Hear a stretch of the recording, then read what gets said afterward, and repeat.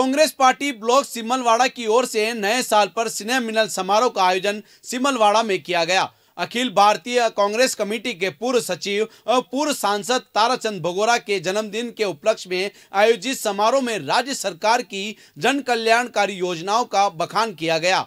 वहीं राष्ट्रीय नेता राहुल गांधी की भारत जोड़ो यात्रा के समर्थन में वागड़ जोड़ो यात्रा के ऐतिहासिक बताया। सीडब्ल्यूसी के सदस्य पूर्व सांसद रघुवीर मीणा राज्य मंत्री शंकर लाल यादव, विधायक गणेश गोगरा, पूर्व विधायक शंकर लाल आहरी, प्रेम कुमार पाटीदार निर्मेक्षा भगोरा, उर्मिला आहरी, कारीलाल मीणा, ब्लॉक अध्यक्ष प्रकाश पाटीदार, मनोहर सिंह चौहान, महेंद्र भगोरा सहित ज़िले भर के पदाधिकारी एवं कार्यकर्ता मौजूद रहे।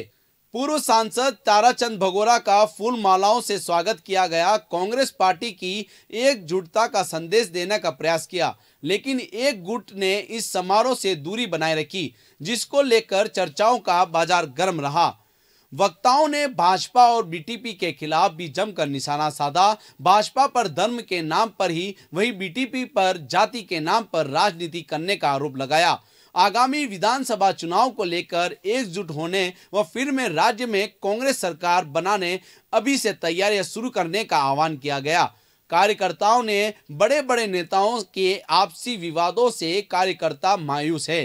क्षेत्र का विकास अवरुद्ध हो रहा है। संचालन बाल गोविंद पाटीदार ने किया आभार, महेंद्र भगोरा ने जताया।